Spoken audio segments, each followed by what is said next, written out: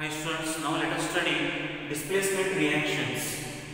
In the in the display, as the name only says, in the displacement reactions, a more reactive metal, a more reactive metal when reacts with the compounds, those especially those are having the suffixes sulfate and chloride groups, so they displaces them the sulfates and chloride groups from compounds while the chemical reaction and they forms their compounds and that metal is displaced.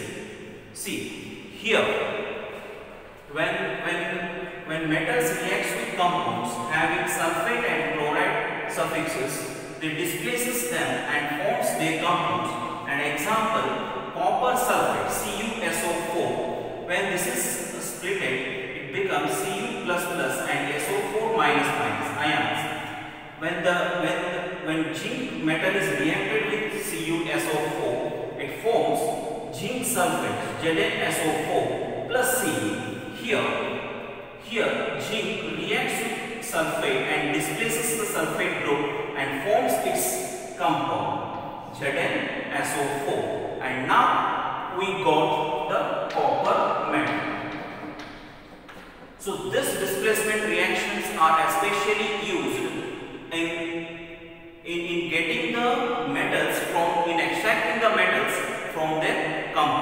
Especially the most uh, usefulness of the displacement reactions are, so this displacement reactions are usually applicable when getting, uh, when extracting the metals from their compounds.